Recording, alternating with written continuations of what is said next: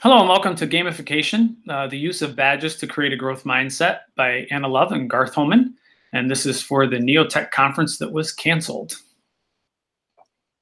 All right, hello. Um, my name is Anna Love. Um, I am Mr. Holman's student teacher this year at Beachwood Middle School. Just a little background about myself. Um, I graduated from Miami University in 2017 with a degree in international studies. I'm currently um, in the Cleveland area um, studying at Ursuline College to earn my master's in 7th through 12th grade integrated social studies. So that has led me to Garth Holman's classroom, um, and I'm enjoying being his student teacher this year. So yeah, so I'm Garth Holman. Um, I have been teaching uh, seventh grade social studies for about 26 years, I believe. Um, I've also taught at the university level for 14 years in graduate school of education in their technologies classrooms. Um, and I present quite a bit about technology around. So I'm happy to be here today. Yeah, and before we go on, real quick, just so everybody um, is aware, this was going to be my my first presentation at an educational conference, which I was really excited about. But due to the circumstances, um, we are going to be obviously recording this. Um, so we're gonna do our best to make this smooth for you all. So let's get started. All right, so what are badges? When you think of badges, I personally first think about when I was a Girl Scout and I would try to earn certain badges for things like learning to tie a knot or selling a certain amount of Girl Scout cookies. Um, I know a lot of people also think of the Boy Scouts. I included a photo of my younger brother who was an Eagle Scout displaying all of his um, glorious badges that you can see there. He loved, loved to earn them. It really motivated him. So, similar to these physical badges that we see with the Scouts often, are digital badges in the classroom. So, digital badges symbolize educational achievements and learning goals that students meet. Um, I really enjoy using them. They can be differentiated for all learners, they can be tied to standards, um, or they can be for certain skills that students are displaying that have nothing to do with grades. Um, and then creating badges is such a fun thing. It's a creative thing to do. Um, it can be very personalized, individualized to your classroom. And then our students, um, they display them online on their blogs that they have. Um, so it's a great way just to see those achievements that our students are making, and it really motivates them to reach those new goals.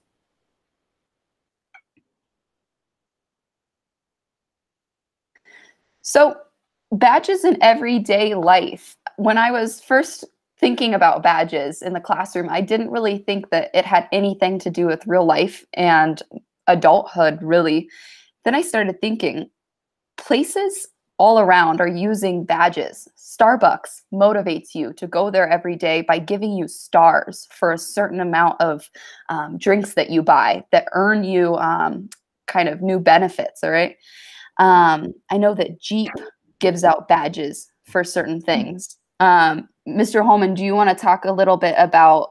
I know that you have a special um, badges that you earn for exercise, correct? Yeah, that's a T-Mobile image in the corner. Your uh, iPhone has uh, an exercise app that you get awarded badges as you go, and you get daily records. Um, my insurance company sends badges to me for safe driving it is everywhere in everything we're doing, and it really comes from video games. So at, the beginning, we had said the gamification. So it's this idea that badges show that you've leveled, you've achieved something when you don't have a grade card, is kind of the way to think about gamification. It's back to these ideas of videos. Do you want to add a little bit more to that concept of gamification? And we do see badges everywhere. I think I think most people know that, especially at the end of emails, people saying, "I am Google certified."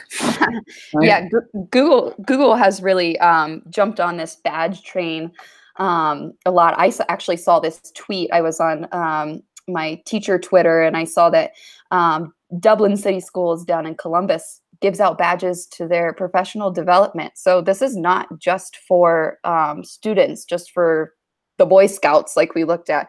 This is um, something that really applies to students of all ages and, as we can see, adults in the real world. Um, oh, well, actually, uh, we got. I'll be uh, straightforward on this. The website we are using to build from, I actually got from Streetsboro City Schools. I saw a presentation they did on badges. They're only doing it for their staff through PD. So, like if you do a Google form, you might get one. Um, I I had tried other other ways to make the badges, but this one seemed fairly easy, as we'll get to in a few more minutes. But that's another school district that could be listening to this that is part of Neo uh, Tech. That um, is where I saw them actually presenting about how they were using it for PD with their staff. Yeah. Um, so before we move on, just real quick, I wanted to ask.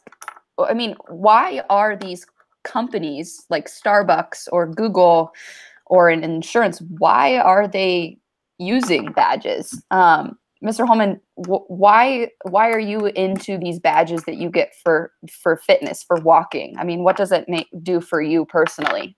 Well, I think for I mean, when you look around the whole concept of badging or this leveling up is the way I'm going to kind of refer to it because that's what really the badges are doing. They're trying to get you to level up to do more. So they're intrinsically motivating for a certain group of people. Some people don't care about badges um, just like the normal student. You know, some kids this is gonna this is gonna pull them in and suck them in because intrinsically they like that visual reward that they can see. So as you watch or, or as people get badges, especially if they buy into it, getting a badge only leads to wanting to get the next badge. It, right. it is intrinsically motivating to achieve that, which is what I got into with that exercise thing. You know, they kept saying this is your longest exercise move. Well, that kept going for 500 and some odd days because I'm like, well, I can't let it end. I can't let it end. It's just this intrinsic piece then that grabs hold of you. So, you know, it, it's it's a visual sign too, like with the Google certified and how Google's using it. It's a visual sign to tell other people you have some set of skills, right? That, right. credentials will say, you know, and if you're a gamer, it's really for that purpose. It's for credentials when you're playing other people in games you already have these credentials, you have these extra weapons, you have these extra outfits. So it just depends on where it is, but I think it's a lot of intrinsic motivation for kids to, you know, maybe it's that natural desire to get get more in some way. You you want what you don't have, so you're constantly trying to improve to get those things. Right. Okay. So my approach to teaching going into it, I was really wanting to find a way um, to kind of expand my students' um, minds to get them really motivated to um, learn in different ways. Um, we'll talk about it in the next one, but grades often kind of limit students' um, thinking and their ability. It kind of is if I get this grade, I'm done. So I really wanted to find a way to promote a growth mindset with their learning for them to know that there's all of these opportunities for them out there and learning has several different paths. Um, something else that i really wanted students to engage in is taking risks and with risks come failure. Students are so afraid of failure. So by including badges it's kind of a way for students to take risks that it's lower stakes um, and it really encourages them to take that leap of faith out in their learning journey to try something new. Um, anything else you want to say about that one mr holman? No i think i think like just the idea of doing badges or trying new things that are that are probably going to be hard for a teacher to implement that you struggle a little bit that's good for kids to see to mm-hmm. understand that you're not afraid to try new things you're not afraid to see how it plays out um, but I do, uh, you know, I, I tell the kids from the beginning of the year, which you've heard me say many a times, you know, if I give you a rubric, you do exactly what I tell you to do, you're a cook, right? You're following a recipe for success.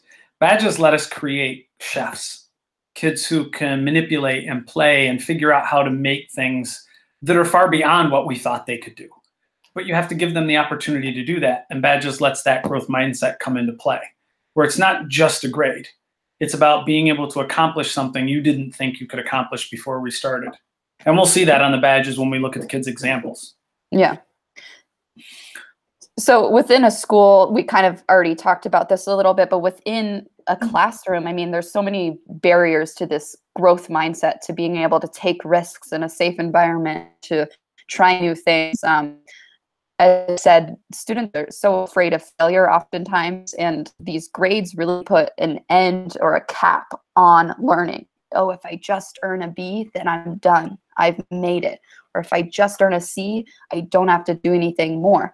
Um, these badges are really a visual, intrinsic motivation to to kind of break that barrier of grades. I want to go beyond the grades. Once I get an A, learning kind of stops. You've made it.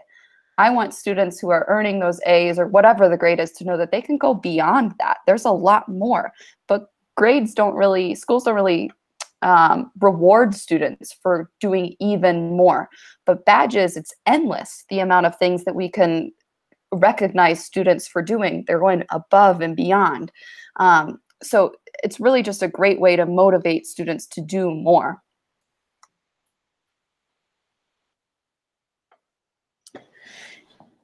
Um, so my one of my biggest challenges thinking about badges was what does this have to really do with grades? Because in, grades are a part of our schools. Um, so oftentimes um, we like to say our badges they're communicating the story behind the grade.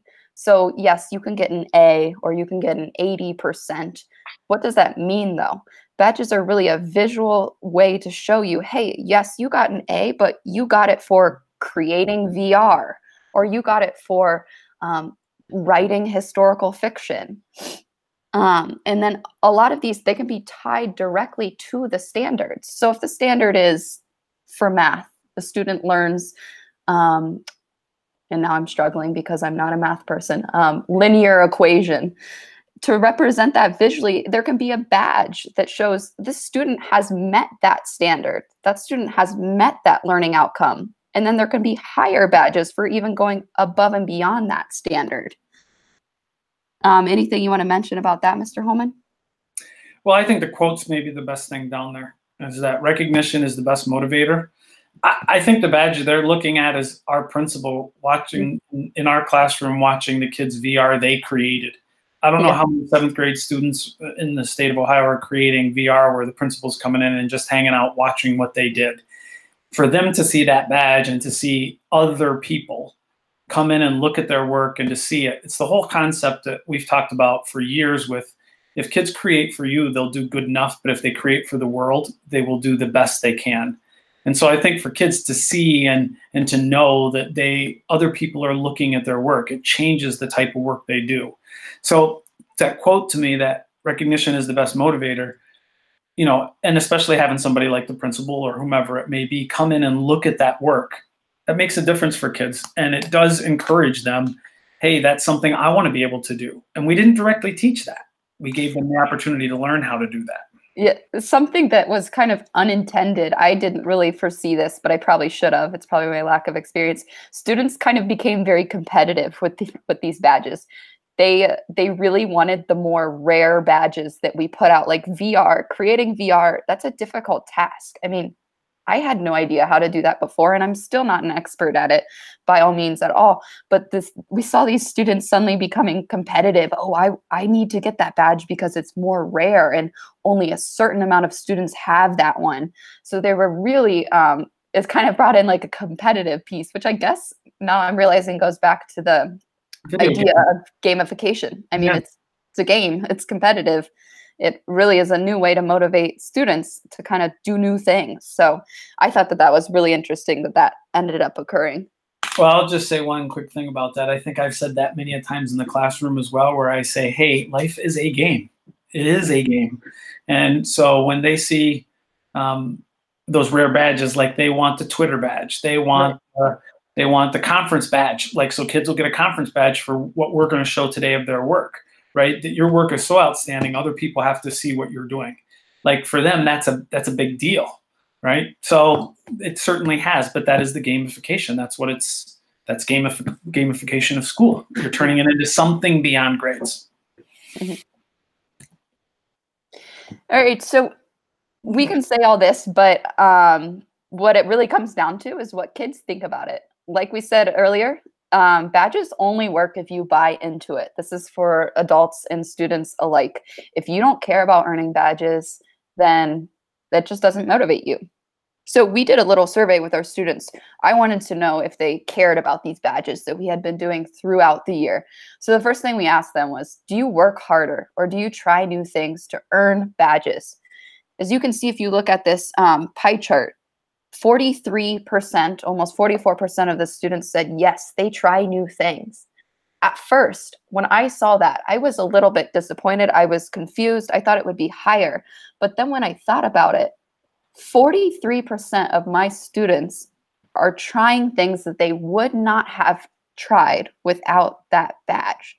43% of my students are working harder. I mean, I thought that that was very powerful. I thought that that was a great indication um, to continue to use badges. Yeah, and I think if you if we dug into that data a little more, it would be interesting the kids that it did impact. Mm-hmm. You know, some of your gifted kids were up in that 44%. Some of your special ed kids are in that 44%. But it's not like all the gifted kids fell into that. Like yeah. some of them it was just a but you know, I, I, looked at that and I'm like, my gosh, if most teachers could get 40% of their kids to do more or try harder by one thing they're implementing in school, they would be pretty darn happy about that.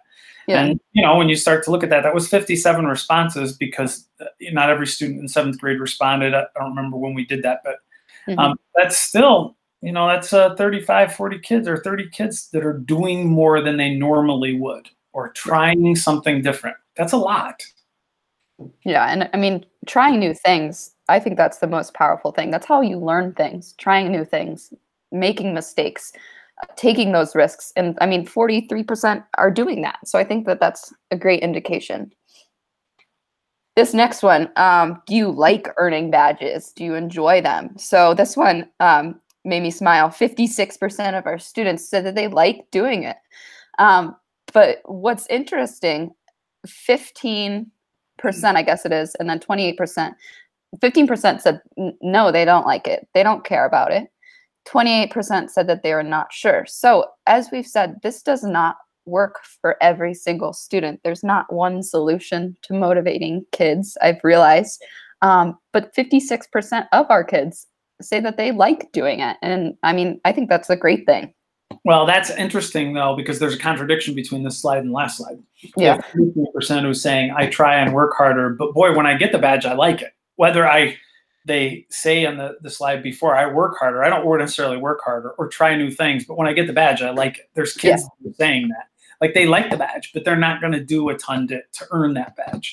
Right. But that's typical you would see from middle school age kids, you know. Yeah and it's still recognizing their their work so that is interesting though and to put in a nutshell there were kids in that 15% that wrote things like you know it's a little childish for me like they see themselves as too mature for collecting those badges but i've seen it in high schools too where high school kids are getting badges so this is not like we said there are going to be kids that this just doesn't appeal to yeah and actually even beyond high school i read something that one in five um, universities are using digital badges for their undergraduate and graduate kids and um, students. And we also saw that it's used in professional development. So, I mean, humans are kind of the same no matter what age you are. You're motivated by something and you're not motivated by certain things. Yeah.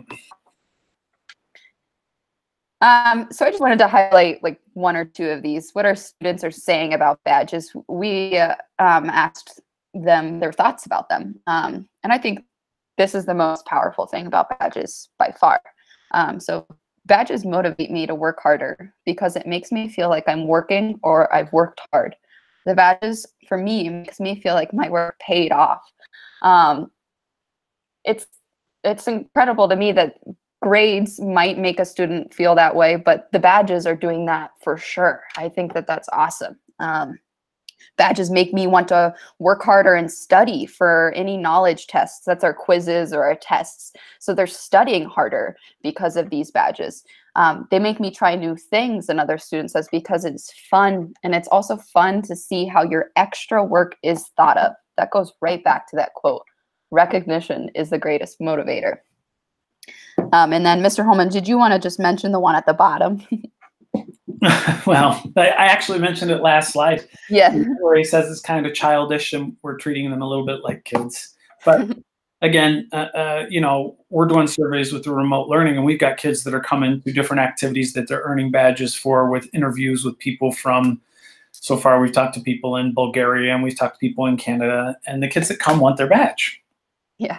So it is, but it isn't. I mean, I get that kid, and that's okay. But just like that, we did another survey today with them about the online learning. You have some kids that like contract grades and some kids that don't. We do a variety of things. No one thing is the end all be all of, of a classroom, a good classroom. Right. You have a lot of variety. This is another tool that if 43% of your kids work harder, it's a good tool to have. So, if you're wondering how you can apply this in your own classroom, um, the criteria is really up to you. Um, I mentioned earlier, we give out badges for kind of three main categories. We give it out for content, such as earning a certain grade on um, a knowledge check or a quiz. Um, and that kind of represents, hey, you've you've mastered this standard, such as um, learning about the enduring impacts of ancient Greece. If you got a certain grade on a knowledge check, you earn a badge. Hey, you've mastered this standard. We also give them out for um, for mastering a, a, a new technology or a software, such as trying a ThingLink or a Samore or a Sutori. We'll actually see some student examples of those. Um, and it, that one is really powerful to me because it's that is trying new things. Students are motivated to try these new, more difficult, maybe technologies um, because of badges.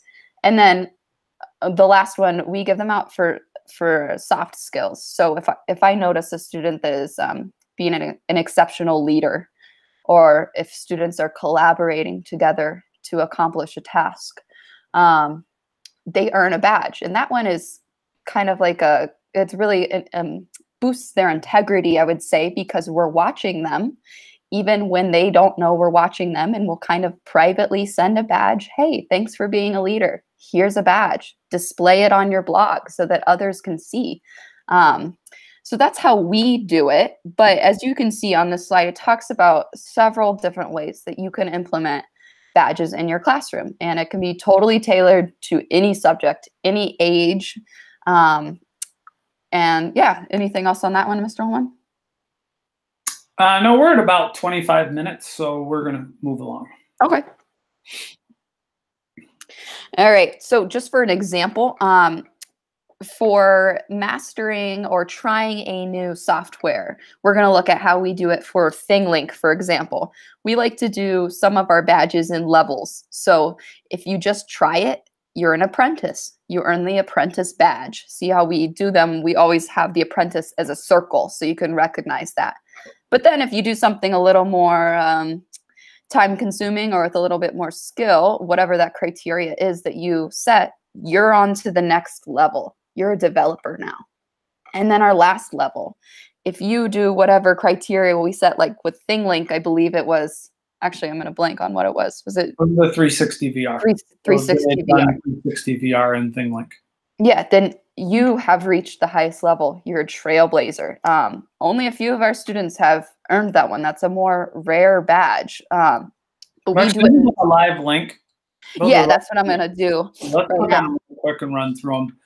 So on the so, apprentice, no kid in seventh grade had ever used ThingLink. So we taught them how to use ThingLink, and this was their first attempt at ThingLink. So all they had to do was learn how to put the buttons on an image and how to um, proceed to explain what whatever the criteria was. In this case, there were uh, six dots. They had to put each color represented a different idea, and that has information in it. That's every kid in seventh grade got that badge. They accomplished that task. So these are what are called tokens. We won't get into that. That's another different presentation. so our developer ThingLink, um, as this comes up, this was if you could now embed a YouTube video into ThingLink. That was the criteria that we set for this. It takes a little bit more time, a little bit more finagling with technology. Um, but as you can see, the student now has done something more. They've embedded. Well, that there. That's really well. That video was actually made by another student five years before, so they're using other kids' work. It's if you look, that YouTube's for me. That's a kid oh, yeah. in our class. That's kind of cool. um, the other piece to that is they had to they had to learn how to embed websites. So there's readings in there. There's more to that. And then there was level three, which we did not directly teach. I made a tutorial of how to do this and gave it as an option. And um, actually, a lot more kids did this than Uh, there was probably about 50 kids that did this.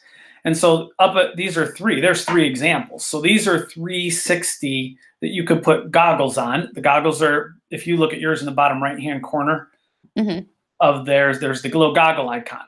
So you put these in VR and you click them. Now they're in VR and they can use this um, in goggles and read is- and learn about it. This is really cool. I mean, we're in where this is Rome, correct? Yeah. We're in Rome, and I mean, this student has included extra. If I click this, I believe it takes me to a video. Um, so well, they're that doing. a read. Well, maybe that's the video. There's a reading too somewhere. But even if you exit out of the maximization of that, there's two other ones underneath where they had to steal from somebody else. So there's three kids right there that did that and got that badge. Oh yeah. mhm, The other two below would be a developer badge. mhm. They've added imagery, they've added YouTube, but they haven't turned it into a 360. So those three kids above got the 360 badge. Those three or two kids at the bottom didn't. So there's where the leveling comes in. You've learned a new task, a new skill. All right. Go back to present. Okay. So um, I believe this is the next slide. Yep.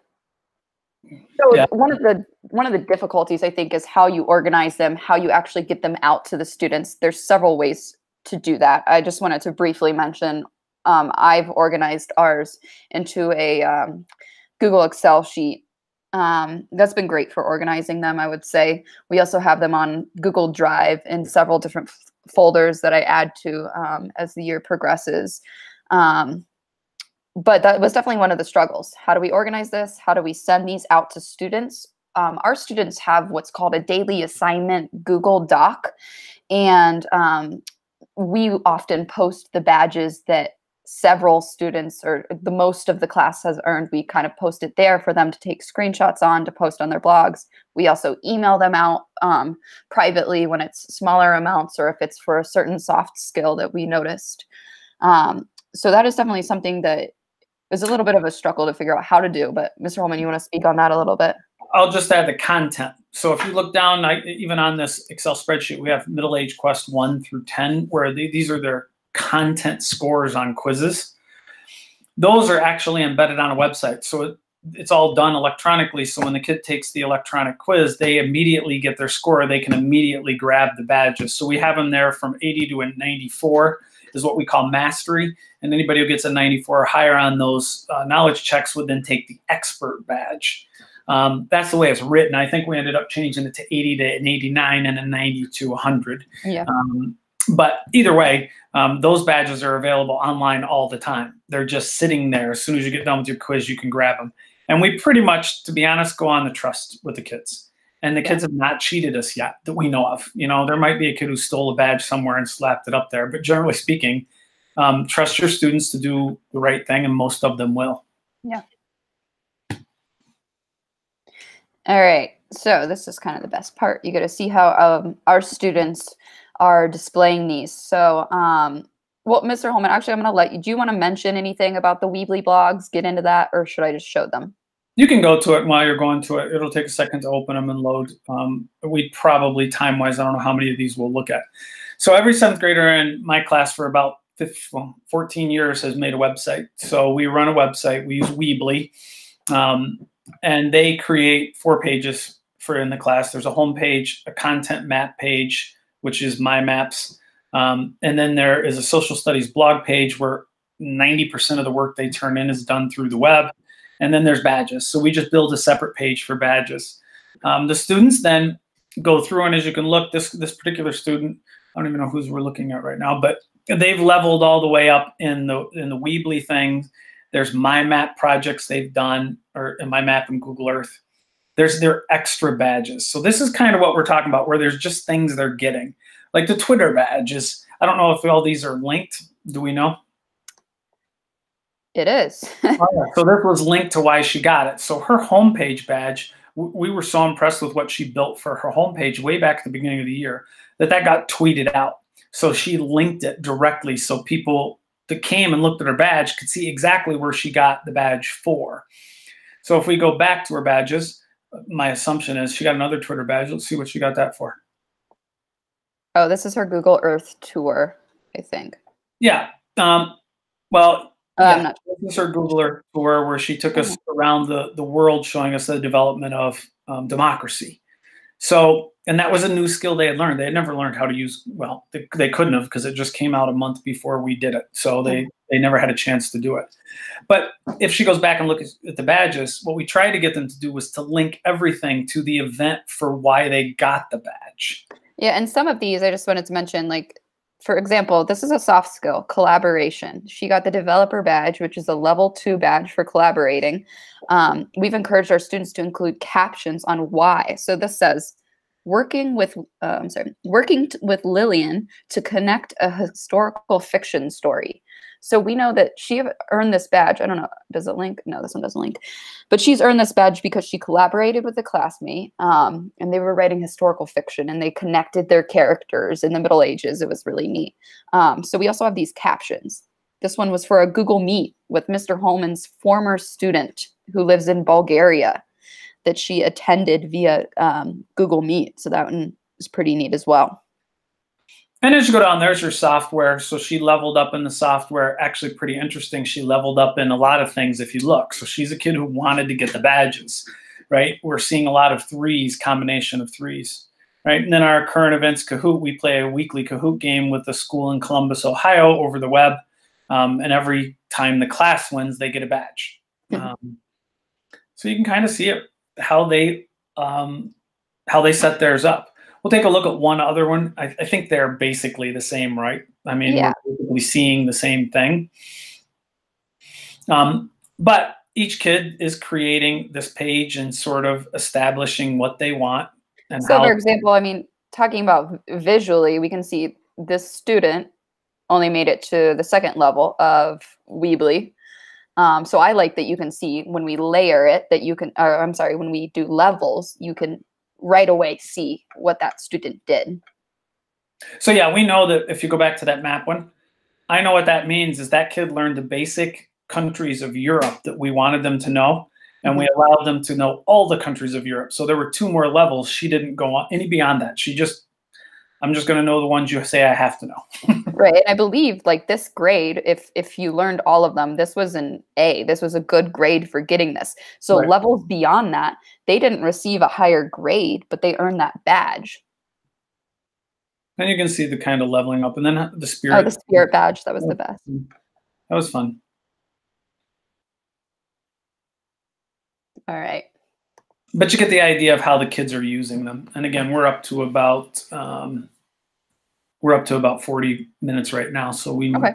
we're okay. We don't. The links are we're going to have the slideshow available, so they can look all they want at that. But you get the idea of how they're set up. Yeah. Um, I just wanted to mention with this, we've already kind of talked about this, but really quickly, this is I added this slide actually um, a couple days ago.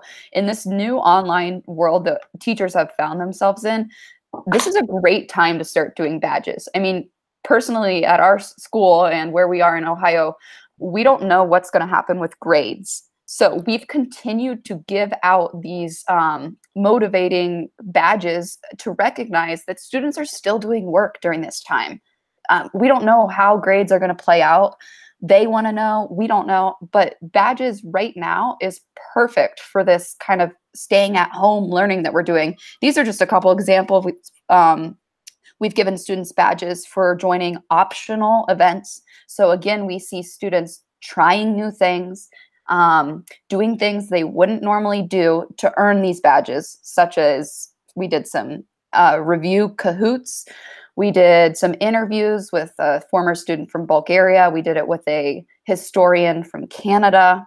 Um, and we just, this one in the middle, I really enjoyed because it's all of our seventh graders um, who we miss seeing. But for just that day one, completing, I believe it was like a Google form check in, just how are you guys? They earned that badge. So something as simple as that.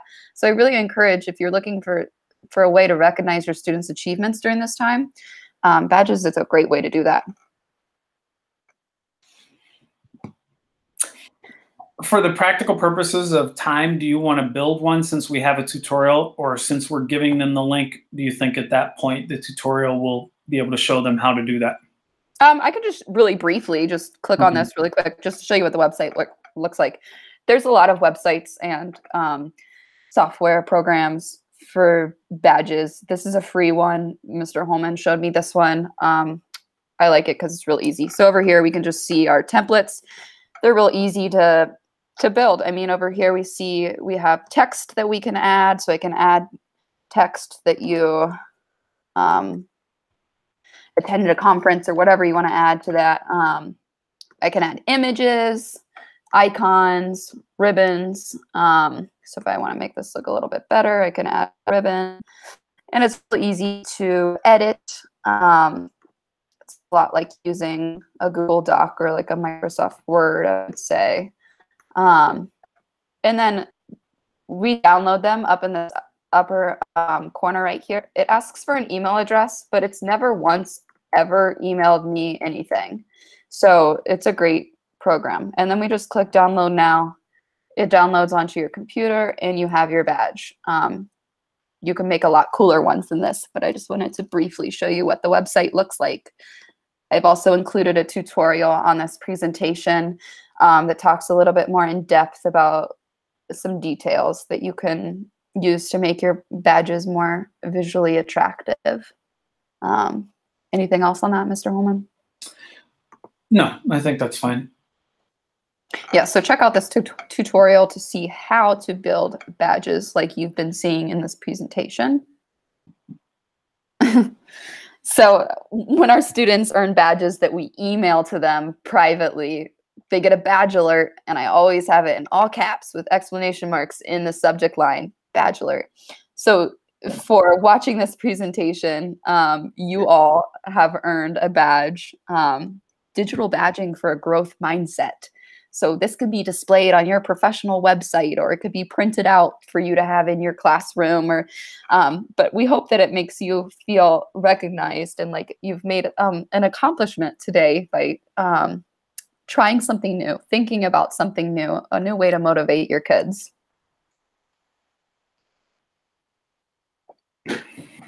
So um, again, thank you guys for listening to this. Um, I hope that you enjoyed it. We have our contact information here. You can find both Mr. Holman and I on Twitter, LinkedIn. We have our professional websites, um, our emails. Anything else you want to add about that, Mr. Holman? Uh, no, I think that's good. They can please email with any questions. Uh, you know, um, I'm used to getting quite a few emails. I respond very quickly to those if you have a question about how to do something. So please don't hesitate to contact us if you, you have a question or need some help. Yep. Uh, last but not least, just on this last slide, there's a lot of um, articles about digital badges in the classroom. These first couple are just easy reads. Um, if you're interested in this, I, I find it very interesting. So I actually looked at some research articles. So a couple of these are more in-depth research um, done at um, the graduate level and undergraduate level. So I think that if you're interested, um, go ahead and check it out. Otherwise, thank you so much for listening today. Um, I hope that you enjoyed our presentation on gamification and badges to create a growth mindset in your students. Yeah, and badge alert, I have a badge for you for finally or presenting at your first conference. Oh, oh thanks. I'll get that to you. All right. Well, All right. Appreciate everyone uh, taking the time to watch it. Again, email us if you have any questions, and uh, thank you. And thanks uh, Neotech for taking their asking people to do this. I think it'll be a nice resource for uh, other teachers to be able to view and use if they as they see fit. Yep. Thank you, Neotech.